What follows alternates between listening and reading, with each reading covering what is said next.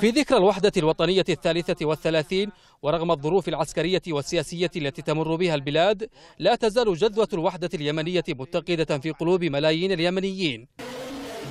هنا في مأرب وللأسبوع الثاني تتواصل الاحتفالات بعيد الوحدة.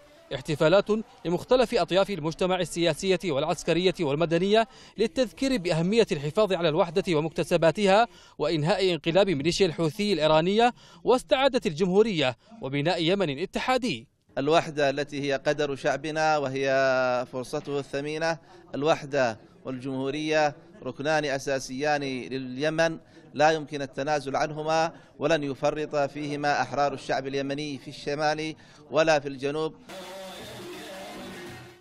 على نحو غير مسبوق تحتفل مأرب بالذكرى الوطنية الخالدة في وجدان اليمنيين في وقت خفت فيه بريق المناسبة والاحتفاء بها من الجانب الرسمي المجلس الرئاسي والحكومة الشرعية وحتى المحافظات المحررة أو القابعة تحت الاحتلال الحوثي.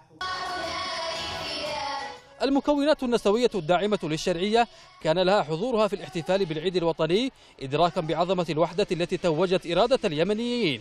نحن نشارك في هذه المكون النسائي في كثير من أطياف المجتمع في كثير من مع كثير من أطياف المجتمع مع كثير من وجهات المجتمع مارب في أن نؤكد للجميع أننا مع الوحدة وأننا مع الخيار الوحيد وهو قيام الوحدة اليمنية ومخرجات الوط...